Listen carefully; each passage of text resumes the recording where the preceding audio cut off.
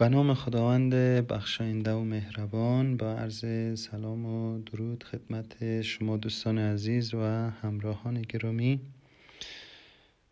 امیدوار هستم که از این سبک ویدیوها هم خوشتان بیاید دوستان عزیز و مفید واقع بشه بر شما دوستان عزیز. بعد از این تصمیم گرفتیم که ویدیوهای کوتاه شورت ویدیو برای شما عزیزا تهیه کنیم.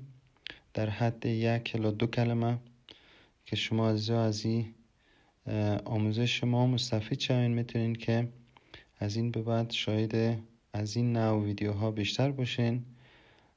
لطفا تمرین تمریناتتون ادامه بتین پشت کار داشته باشین. انشالله حتما نتیجه می‌گیرین.